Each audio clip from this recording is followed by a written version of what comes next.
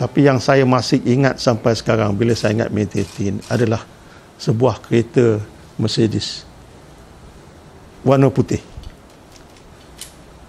Dia telah pun disekat di depan rumah resmi Menteri Besar sendiri.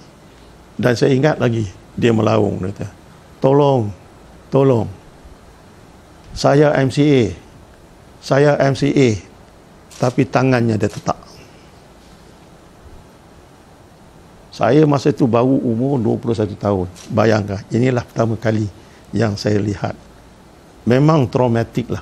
And then setengah daripada mereka tu keretanya dibakar. Mereka di... Ada juga orang yang bawa senjata lah, perang panjang itu semuanya. Ya.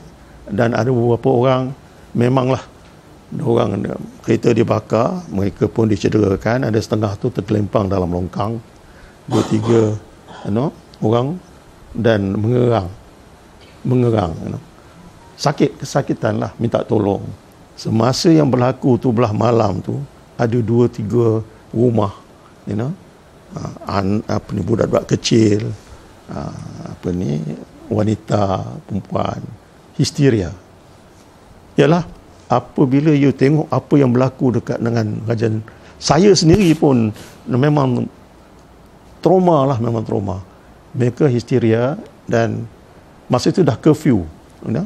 di di di di istilahkan apa ni uh, curfew emergency lah ya hmm. jadi bapa saya terpaksa lah kena katanya nyuruk pergi rumah itu sebab dia orang tak ada siapa yang boleh mengubat alhamdulillah lah bapa saya ni dia tahu sedikit sebanyak ilmu you know dan dia dapat mententeramkan jadi uh, kalau dikatakan apa ni tragedi May 13 ini hanya kaum lain yang terseksa yang menderita sama-sama menderita.